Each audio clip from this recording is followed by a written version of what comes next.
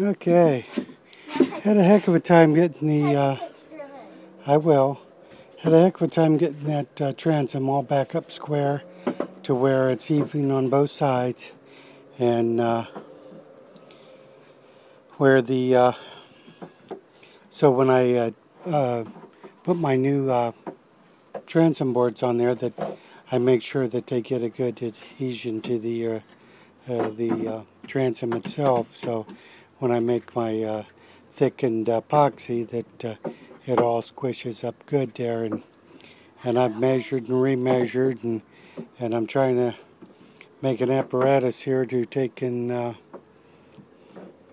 uh, get that on there and I've taken it off and cut it a few times so anyhow so far I've got all my bolts and everything through. They're long enough so when I do add my three quarter inch a piece of plywood in there that uh, they'll be able to take and uh, still get them all started and run them up tight. And so I'm trying to squeeze that on there. That one lower one that you see just above the uh, the hall there, it's uh, right up against the transom. transom. That's, uh, I'm debating whether or not to go clear across with that all the way, both ways. So then, the, but right now it's between that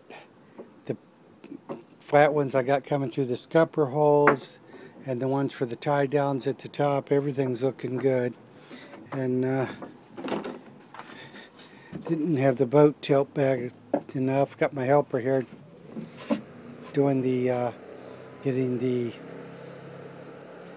buoyancy foam out from under there. So I was wondering how I was going to do that. So I found an easy way to do that. So she's working diligently on that. Wave hi to everybody. Okay. And uh, so this is where we are. We didn't get a lot done today. Uh, had some other things I had to work on, the air compressor, and of course had to work on the water softener, you know, all those other things and it uh, gets in the way of trying to get your boat done. So anyhow, that's it for today. Okay, as I'm cutting my stringers, look at that. I think those are termites. There's some. That is not a good sign. That's making my boat project look kind of poor. I thought was rot over time is actually might be termites. Well, I don't think it's Okay, I just wanted to touch base with you. I pretty much stopped right where I was at. I cut them stringers out. I'm uh, kind of disgusted right now. I don't know what I'm going to do. I don't know if I'm going to go on with this project or or cut my losses where, where I'm at. That's kind of way I'm feeling right now. Um, let me, uh,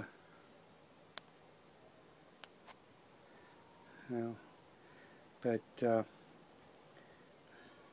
like I said, it's, uh, I think maybe I'll get a fresh start. I'll go ahead and cut that open up there, see what we've got, and just kind of go from there. And uh, I, uh, I really didn't want to cut that panel out that I cut out there, but uh, right now that's uh, that's the only way we can get them stringers. See, I thought that uh, I was going to just make me something a little longer than normal and then hook onto that. But obviously from what I found earlier is not working out for me. So I'm going to cut that out. And if that bulkhead across there is okay I mean uh, but uh, I'll probably cut it out to see if it's okay. So I mean you know that's how could I totally be sure if I don't? I mean you know what appears I mean I I don't want to go this far and then turn around and uh, and do a half job after that. So I'll let you know. We'll probably uh, tomorrow I'll probably cut on it some more and we'll decide what we're going to do and take a look at how they strengthen on that. I thought about drilling some holes in it, but I don't know that I that's going to be a fair evaluation. So uh, I'll finish cutting and we'll take a look tomorrow and I'll cut the other two stringers out on the left and we'll see what we can come up with. right now I'm not feeling too happy about the project. I'm almost to the point uh, I could just say forget it and go on to a different boat. But uh, if I do go, if I do finish it from here, this would be like a brand new boat because it would be all the way. But I'll just, right now I'm just not feeling too good about it, so we'll just see what we're going to do. Talk to you later.